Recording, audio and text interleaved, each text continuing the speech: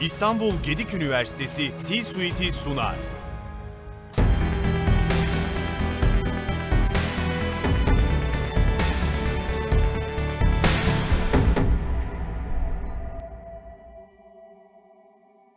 Türkiye'nin ekonomi televizyonu Ekotürk ekranlarından herkese merhaba. Ben Hande Demirel. C-Suite'de birlikteyiz. Bu hafta olduğu gibi.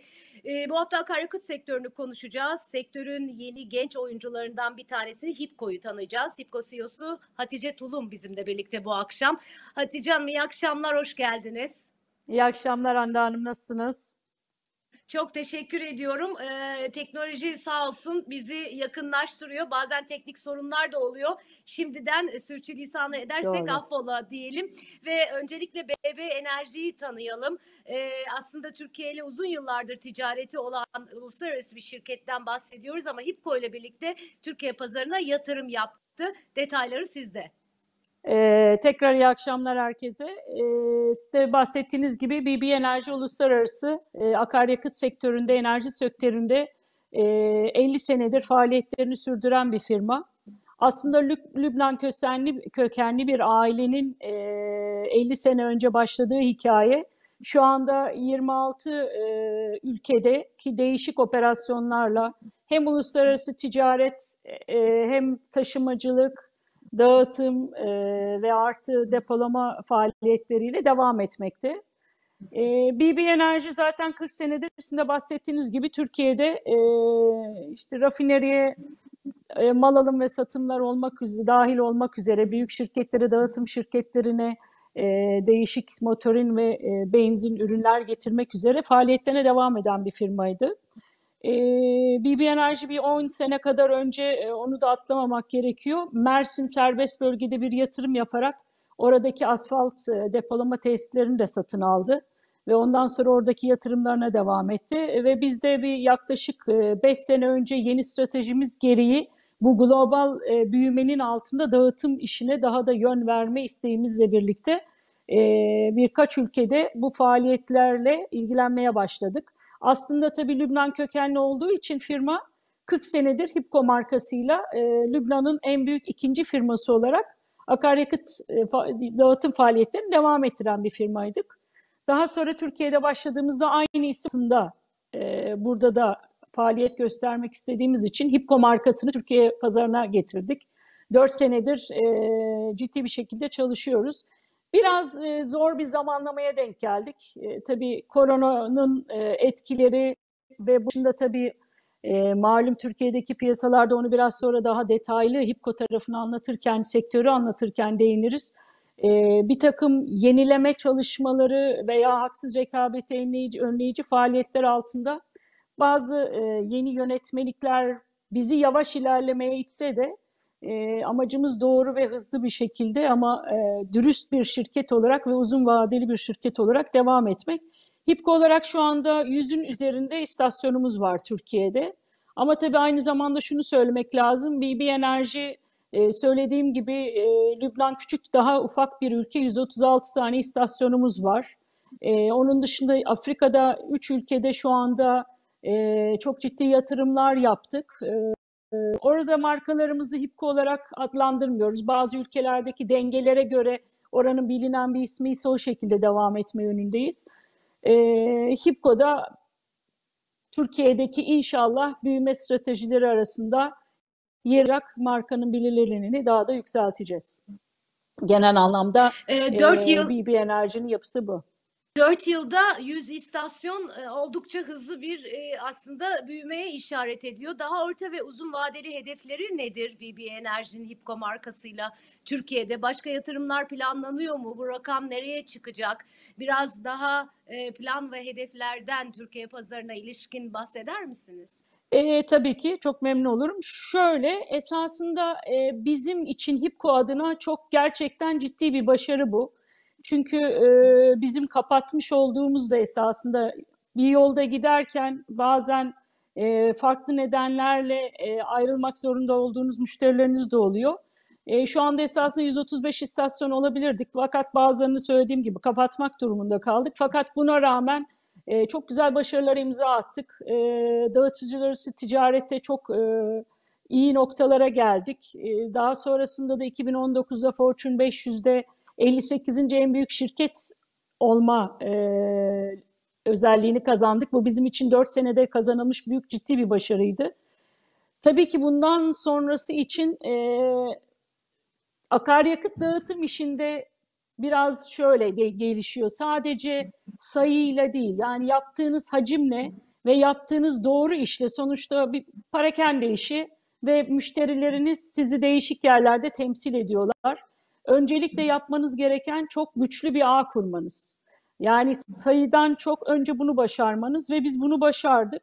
Bundan sonrasında da biliyorsunuz akaryakıt dağıtım sektöründe e, son 5 senedir e, sürekli yenilenmeler var, birleşmeler var, e, satın almalar var. Tabii biz de bunları sürekli değerlendiriyoruz. E, işe baştan girdik, işi öğrendik. Türkiye'deki bir takım dengelerin e, nasıl gittiğini gördük ve şu anda e, 2021 stratejimizde bu büyümeyi e, kesin net sonuçlarımız e, veya kararlarımız olmasa bile yavaş yavaş belki bir birleşme yönüyle belki yeni yatırımlar yaparak e, genişletmek e, amacındayız. Yani e, Türkiye'den çıkma gibi bir niyetimiz yok. Yabancı yatırımcıyı ben kendi adıma da bir Türk olarak burada tutabilmek, devam ettirebilmek, bu yatırımları büyütebilmek adına elimizden geldiğince e, çaba harcıyoruz. Zor bir dönem.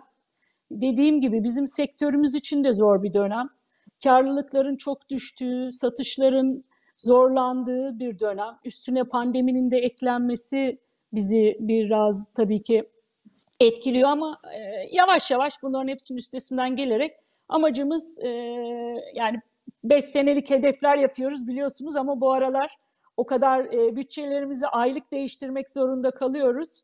Ama yine de bizim 5 senelik hedefimizde e, ileriye yönelik baktığımızda ciddi bir atılım e, planları içerisindeyiz. Zor bir dönem dediniz. Hakikaten öyle. Pek çok sektör açısından öyle. Özellikle pandemi etkisine baktığım dünyada hem Türkiye'de ette olduğunuz pazarlarda nasıl e, etkilendi sektör, akaryakıt sektörü özelinde soruyorum e, bu pandemide? Aslında baktığınız zaman tabii e, maalesef e, bütün dünya çok etkilendi e, bu pandemi nedeniyle. Tabii belli bir süre özellikle Türkiye'de de yine aynı şeyi yaşadık. Mart ve Haziran ayı arası ki dönem çok ciddi e, oldu, kapanmalar oldu. E, onun dışında sokağa çıkma yasakları. Tabii bu bizim sektörümüz de çok etkiledi ama tabii şöyle bir şey var unutmayın. Akaryakıt dediğiniz zaman hayat e, işte kuaföre gitmedik, bazı şeyleri restoranlara gitmedik ama sonuçta dışarı çıkıldı. E, sebze, meyve bunların ulaştırılması için nakliye kullanılmak zorunda kaldı. Bunların hepsinde sonuçta akaryakıt mutlaka içinde olması gerektiği için yine de çok fazla etkilenmedik, ayakta durabildik. Evet, bu bakımdan çok şanslıyız ama tabii özellikle mesela jet yakıtlarında e, global bazda baktığınızda %50'lere varan bir düşüş yaşandı. E, seyahatlerin engellenmesi ve diğer şeylerden dolayı tabii ki bazı nedenlerden dolayı. E, Türkiye genelinde de şöyle bir e, şey yaşadık. Bu Mart-Haziran dönemi içerisinde %20-25'lik bir düşüş oldu. Tabii özellikle en az baktığınız zaman şu dönemde bile ayda 8 gün, 9 gün kapalıyız. İlk dönemlerde bölgesel olarak yaşadık çünkü bazı e, kritik şehirler uzun süreli kapanmalar oldu. Bir şekilde denge kuruldu diyelim ama e, 2019 ve 2020'yi karşılaştırdığınızda Türkiye olarak yine şanslıyız. Hacim olarak yine aynı tonajları sağladık esasında. O aradaki Mart-Haziran arasındaki kaygıyı birazcık kapattık. E, HIPCO adına da birazcık şöyle bir şeyimiz var. Baktığımız zaman 2019-2020 genel anlamda Türkiye adına yüzde birlik ya yani motorin ve benzin satışlarında yüzde birlik bir artış ancak görüyorsunuz ama biz HIPCO olarak yüzde dokuzluk bir artışı e, başardık. Bu bizim için önemli. E, tabii bunda şunun da çok önemli rolü var. Şunu söylemek lazım. Şu anki yapımızda bizim istasyonlarımız daha çok kasabalarda, otoyollarda olduğu için e, sonuçta bir şekilde işte kamyonuydu, otobüsüydü bir şekilde devam etmeye e, çalıştık ve hafta sonları da e, bunlara hizmet amaçlı açmış bayilerimiz de oldu. Fakat şehir merkezlerine geldiğiniz zaman özellikle benzin satışı yüksek ve binek araçların çok girdiği istasyonlarda tabii ki ister istemez bu e, oranlar çok. Ama dediğim gibi e, bu sadece haberden bahsettik. Tabii önemli bir takım şeyler de oldu. Karlılıklar biliyorsunuz e, petrol fiyatlarında çok ciddi düşmeler oldu. E, tabii herkes dışarıdan baktığında ne güzel işte e, petrol fiyatı düştü diye gördü ama tabii biz bunu böyle yaşamadık. Çünkü bizim sistemimizde özellikle Türkiye'de bir prim e, sistemiyle çalışıyor dağıtım firmaları. E, Tüpraş'tan, rafineriden çıkışta fiyat düştüğü zaman yüzde oranıyla aldığınız primden dolayı tabii ki marjlarınız düşmüş oluyor. Ama e, sonuçta şunu diyoruz, biz böyle bir döneme girdik ve bu dönemden hep beraber çıkabiliriz. O yüzden biraz e, biz karlılıklarımızı düşürdük, biraz bayilerimiz düşürdü, satışlarımız düştü ama ayaktayız. E, bu hızla devam ediyoruz. Türkiye'de de aynı zamanda biliyorsunuz yani nüfusun e, her, her sene yeniden çoğalması, araç sayısının artması, e, bunun dışında üretim faaliyetlerinin, sanayinin yoğunluğu, e, bir de unutmayın biz daha çok kara taşımacılığıyla e, çalışan bir ülkeyiz. Tren yollarımız evet kullanımda ama o kadar kuvvetli olmadığı için e, tabii bu biz e, akaryakıt diye bahsederken esasında bir de Türkiye'de bir LPG gerçeği var ve ciddi oranda bir LPG satışı var. LPG'li araçların e, özellikle maliyetlerden ve başka türlü özellikle maliyet tabii en büyük etken çevreye de büyük faydası olabiliyor ama e, LPG de önemli bir yani tabii ki biz şimdi piyasayı sektörü bildiğimiz için biz hep akaryakıt, benzin ve motorun olarak bahsediyoruz ama LPG de bizim ürünlerimizden biri. E, orada da ciddi düş, düşüşler oldu fakat dediğim gibi e, 2020'yi atlatmayı başardık. Şimdi önümüze bakmak istiyoruz. 2021'e bakmak istiyoruz. Yavaş başladık. E, evet yine kapanmalar devam ediyor. Ama Nisan sonrası için e, umuyoruz bu aşıyla birlikte alınan diğer önlemlerle birlikte daha da e, güzel günleri göreceğiz hep beraber. E, petrol fiyatlarına değinmişken siz bir de o taraftaki gelecek hesaplarınızı dinlemek isterim. Çünkü son dönemde petrol fiyatlarında yeniden yukarı yönlü hareket var. E, pandemi etkisine rağmen e, VTI tarafında hatta bu sabah okudum. Tabii Amerika'daki hava koşullarından ötürü e, Texas e, petrolünde ciddi bir yukarı yönlü hareket olmuş. Brent tarafında da aslında bir hafif yukarı yönlü hareketi görüyoruz. E, OPEC artının aldığı e, aksiyonların e, da sonucu olarak ne öngörüyorsunuz petrol fiyatları tarafında bundan sonraki dönemde? Siz hesap yaparken e, hangi e, trendleri baz alıyorsunuz? Yani normalde biz uluslararası piyasada biliyorsunuz plat bazlı gidiyoruz. Genelde uluslararası dağıtım firmaları olarak. Ee, tabii ki öyle bir dönemdeyiz ki genel ekonomi koşullarına baktığınız zaman eskisi gibi belli şeyleri hesaplamaları yaparak şöyle gideceğiz diyemiyoruz. Mesela bunu Mart'ta çok iyi gördük. Planlarımızı yaptık ve hiç beklemediğimiz şekilde bir pandemiyle bütün fiyatlar piyasa alt üst oldu. E, şu an itibariyle tabii çok düşük e, rakamlara inmiştik. Piyasa şu anda canlanmaya başladı. E, e bu tabii ki de bir artışı getiriyor. E, ister istemez e, özellikle jet ve ha, yani hava yollarının açılması ile birlikte jet yakınında yakıtının da tekrar satışa başlaması ile birlikte o bir dengeyi sağlayacaktır. Tabi bu arada e, düşünmek lazım gereken bir tak birkaç tane şey var. Yani piyasanın değerlerine baktığınız zaman e, fiyatların düştüğü anlarda rafineriler esasında e, para kaybetme veya daha çok karlılıklarını azaltma yoluna gittiler. Fakat bu dönemde satışlar olmadığı ve fiyatlar düşük olduğu için hepimiz daha çok stoklamaya gittik. Ee, özellikle kontango pozisyonları yaratıldı. Çünkü baktığınızda düşük fiyatlardan bir sene sonrası ciddi bir yükseliş gösteriyordu. Bu sene için daha e, çok fazla bir aşırı bir ivme beklemiyoruz. Bu şartlarda bu şekilde hı hı. bu seviyelerde gideceğini bekliyoruz ama Dediğim gibi yine bu e, iki senedir gerçekten e, ne ekonomik ne dolar kuru ne e, diğer ülkelerin genel dengeleri e, faiz oranları, petrol fiyatları bazı şeylerde o eski bizim bildiğimiz ekonomik bir takım verileri, değerlendirmeleri yaparak e, işte önümüzdeki bir sene şunu olacak dememiz e, biraz eskisine göre daha zor. Dediğim gibi daha çok kısa vadeli planlar yapıp her hatta her üç ayda bir değil her ay değişiklik yapıyoruz. Mesela biz Türkiye'de bir de dengelerde tabii dolar Türk lirası fiyatlamasını koymamız gerekiyor. E, artı yine Türkiye'deki fiyatlamalarımızda e, ÖTV ve KDV eklenmesiyle bir takım dengeler değişiyor. Burada tabii e, hükümetimize de bir takım görevler düşüyor. Onlar da özellikle ÖTV tarafında bir takım dengeli e, ayarlamaları yapmak e, zorunda kalıyorlar.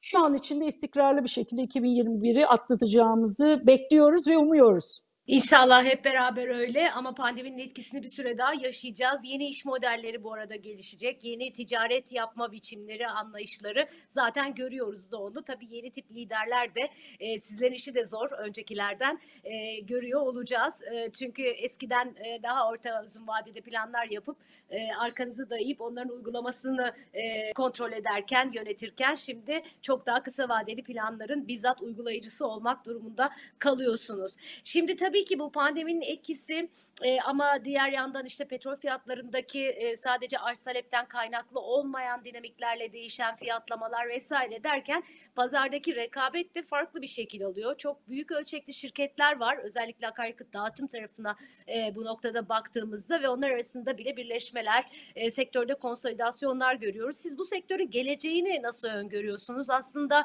başlarken İPCO tarafında da e, belki satın alma birleşme opsiyonlarının de, de, de, değerlendirilebileceğini söylemiştiniz. E, daha büyük ölçekli konsolidasyonlar öngörür müsünüz pazarda? Rekabetin nasıl şekilleneceğini öngörüyorsunuz gelecekte? Yani burada şöyle bir baştan başlamak lazım esasında. Akaryakıt sektörünün biliyorsunuz Türkiye'de bir geçmişi var.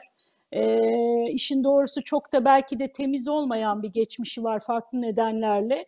Son dönemde özellikle Ocak ayında e, yine e, haberlerde mutlaka basında da gördünüz.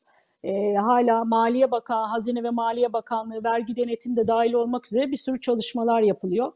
E, son 10 senede EPDK'nın da yaptığı ciddi çalışmalar var. Buradaki sorun şu, esasında önemli olan e, rekabetin büyük firmalarla olmasından çok haklı rekabet olmasını sağlamak lazım.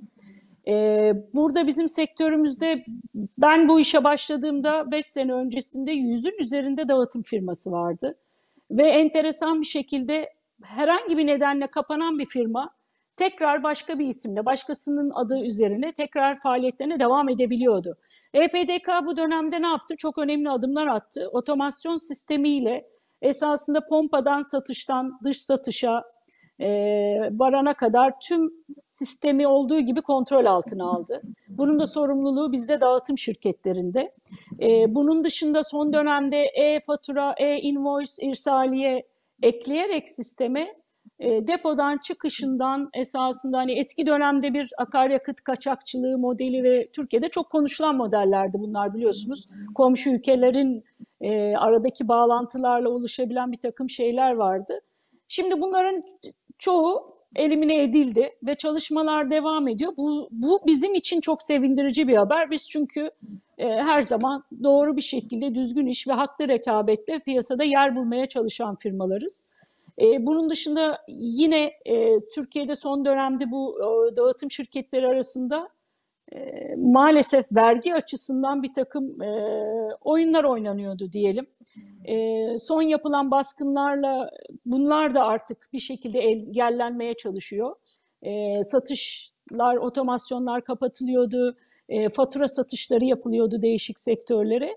Yani bunları da engellediğiniz zaman bakın şimdi yüz, yüzün üzerinde dağıtım şirketi varken Türkiye'de şu anda 67'ye düştük. Şimdi bu önemli bir kriter çünkü 13 bin tane istasyon var Türkiye'de. Baktığınız zaman büyüyen büyük bir ülkedesiniz ve rekabette söylediğim gibi haklı rekabet olması çok önemli. Çünkü e, diğer ürünler gibi değil bu. Plats'ta bir hedefiniz var, bir rakamınız var. İstediğiniz kadar karlılıklarınızı bir şekilde aşağı yukarı tutabilirsiniz. Bu sizin maliyetlerinizle değişebilir, stratejilerinizle değişebilir, depolama testlerinizle değişebilir. Fakat çok fazla oynama şansınız yok. Yani 1 lira ile 10 lira arasında böyle bir iniş çıkış göremezsiniz. Görmemeniz gerekiyor. Çünkü pompada satış fiyatı belli. Bütün ülkenin geleceği ve bütün alım satım her şey buna bağlı. Ee, bizim için öncelikle önemli olan buydu ve bu esasında yavaş ilerlemiş olsa da çok güzel bir şekilde ilerliyor şu anda. Ve bundan sonraki hedefim bizim zaten HIPCO olarak amacımız yani biz büyük e, dünya çapındaki büyük firmaların yani hepsiyle global bazda zaten çalışıyoruz. Dağıtım firması olarak gelmiş oturmuş 30 senelik 40 senelik dağıtım işinde olan firmalar var. Ya yani biz 5 senelik bir firma olarak Türkiye'de amacımız onlardan sonra ikinci kategoriye yerleşmek. Fakat dediğim gibi haklı rekabetle birlikte ciddi bir büyüme sağlamak ve bunun içerisinde kesinlikle söylediğiniz gibi yani birleşmeler çok önemli. Çünkü akaryakıt dağıtım işinde şöyle bir şey var. Sözleşme yapıyorsunuz. 5 senelik sözleşmeler bu EPDK'nın kısıtlamaları getirdiği yeni yönetmeliklerle birlikte 5 senelik bir sözleşmeniz var ve onunla birlikte satışınızı yapıyorsunuz. Fakat burada temkininiz var. Yani belli bir rakam bir istasyon sayısına ve satışa ulaşmadan belli şeyleri yapabilmeniz, volümlere ulaşmanız veya karlılık sağlamanız mümkün değil. Biz de bu hedefler içerisinde e, kesinlikle birleşme sağlıyoruz. Bir de tabii ki şöyle bir şey var. BB Enerji olarak uluslararası piyasadaki ticaret e, faaliyetimiz ve buradaki tecrübelerimiz çok önemli. Yani sonuçta yine dediğim gibi bu işi daha verimli hale getirebilmenin tek yolu sadece dağıtım ayağı olarak pompa satışı değil, toptan ve aynı zamanda değişik lokasyonlardaki depolama faaliyetleriyle ivme kazanıyorsunuz. Tabii bu arada şunu da eklemem gerekiyor. Özellikle HIPCO adına biz şu anda sadece akaryakıt ürünleri yani motorin ve benzin satışı yapıyoruz istasyonlarımızda. Fakat HIPCO markası olarak henüz LPG işine girmedik ama LPG Türkiye'de çok önemli bir e, ürün. Orada bir gelişmelerimiz olacak ve bundan sonraki stratejimiz o büyüme fakat aynı zamanda LPG'yi de işin içine katmak olacak. Tabii biz bunları bahsederken hep akaryakıt istasyonu, akaryakıt e, satışı ve LPG satışı ama bunun dışında biliyorsun marketler var, restoranlar, şimdi yeni artık elektrikli e, araçların eklenmesi. Türkiye'de hala çok ufak e, rakamlarda olsa da bunların da geleceği tabii ki olacak. Biz de özellikle 2021'de şu anda yeni açılışını yapacağımız bir e, yeni bir konseptimiz var. Hipco Green konsepti.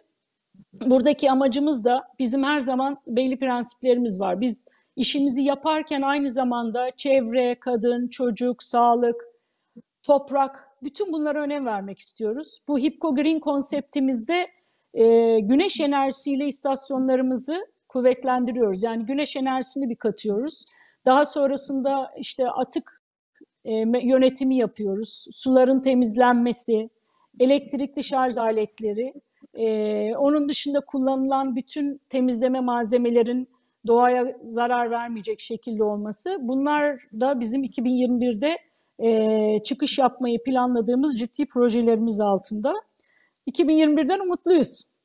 Peki çok çok teşekkür ediyorum. Kolaylıklar diliyorum. İnşallah HIPCO e, sizin liderliğinizde arzu hedef, e, ettiği hedeflere ulaşır. E, 2021 ve sonrasında da işler herkes için çok güzel gider. Çok teşekkürler. Umuyoruz. Biz teşekkür ederiz. Çok sağ olun. Efendim bir e, C-Suite'in daha sonuna geldik. İnşallah keyifli bir sohbet olmuştur akaryakıt sektöründe ve e, bir miktar pandemi etkisiyle birlikte gelecek planlarına bakmaya çalıştık. HIPCO CEO'su Hatice Tulum'la birlikte. Gelecek hafta yine aynı saatte Türkiye'nin ekonomi televizyonu Ekotürk'te C-Suite'de buluşmak üzere. Hoşçakalın, sağlıkla kalın. İstanbul Gedik Üniversitesi C-Suite'i sundu.